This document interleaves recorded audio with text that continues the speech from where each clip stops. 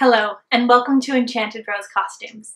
Today is the first of four videos on the construction of the robe la Française. I hope you enjoy.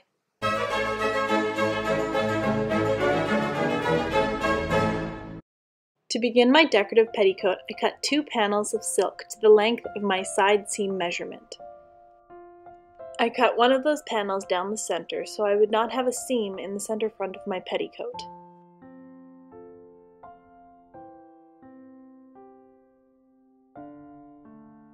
With right sides facing each other, I pinned the cut edge of the panel to the center front panel of the skirt.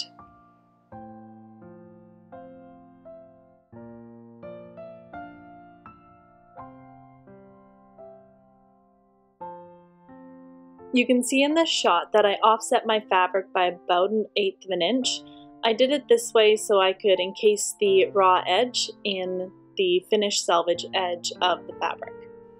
I'm calling it a mock mantua maker seam because I sewed it by machine instead of by hand, and essentially it follows the same principles as the hand sewn one would.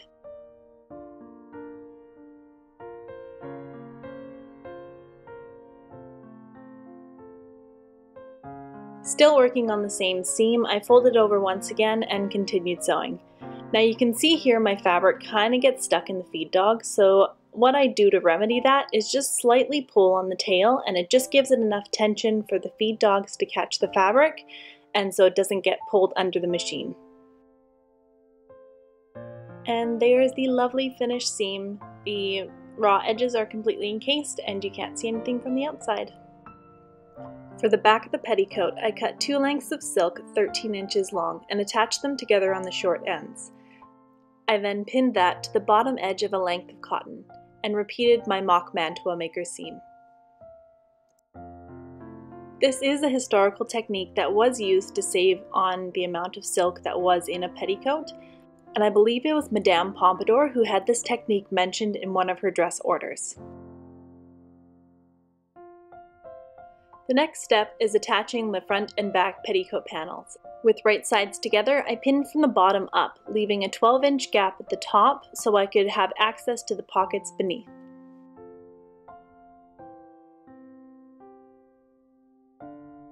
Starting at the bottom of the skirt, I sewed up to my mark for the pocket openings. Also, since this is a selvage edge, I don't have to worry about finishing it. Next up is the hem.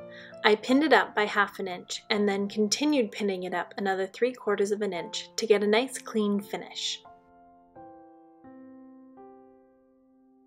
And instead of ironing at this point, I finger pressed it to keep it in place.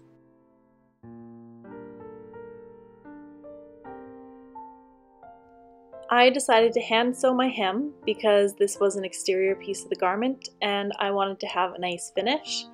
The stitch I used is a hem stitch and I'll show you a close-up of it in just a moment. So you can see what I'm doing here is just catching two or three threads and then sewing through to the other side and it creates a nice clean finish. It took me around three hours to sew a 120 inch hem. The next step was draping the petticoat. I pinned together the side openings to the side of the mannequin and found the center front of the skirt. I folded over the seam allowance until the front was the length that I wanted and then pinned it in place. I then folded over the seam allowance at the side seams and leveled the difference between the two. I began the pleating 4.5 inches from the center front, making sure to keep the hem level and adjusting the seam allowance at the waist as needed. And I used my fingers as a guide for pleating.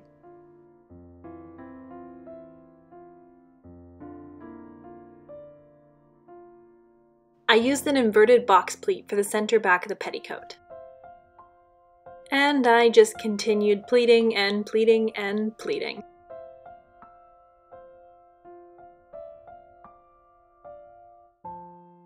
You can see here that the back of the petticoat has two extra panels that I ended up removing.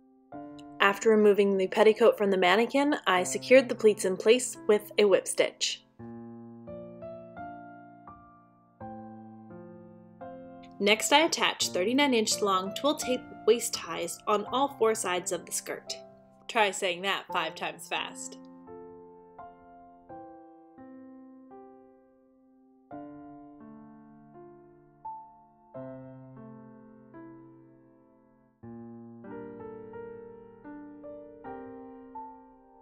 The final step was adding the waistband. I used one and a half inch wide twill tape centered over the seam allowance of the skirt and sewed it on using a backstitch.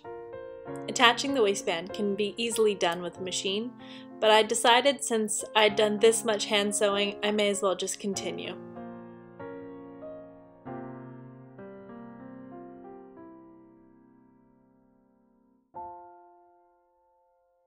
I then folded over the twilled tape to the inside of the petticoat and used a whip stitch to secure it in place. You can also see in this shot how the interior edges of my petticoat are raw. You can leave it like this, but I think I'm going to go back and finish mine as my silk is prone to fraying. On the edges of the petticoat, I used a running stitch to enclose the waistband over the tie.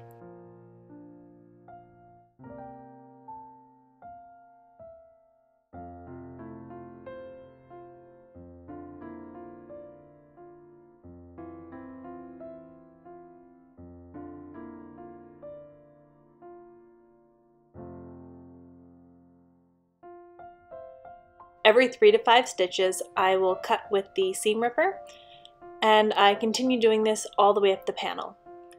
I think this panel took me about three minutes to do. I just went back and checked my footage and the timestamp came in at just over two minutes.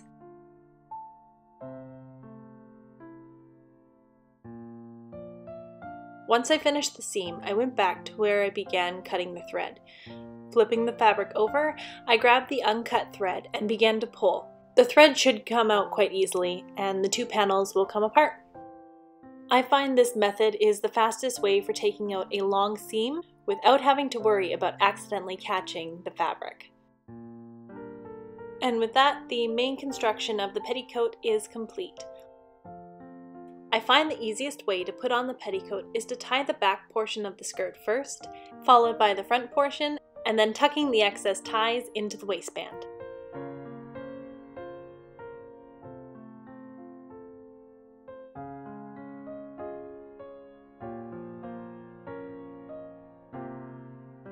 And all that's left to do to finish off the petticoat is to decorate it. Traditionally, it was decorated before pleating, but since I wasn't sure how much fabric I had, I decided to wait on decoration until after I'd finished my robe.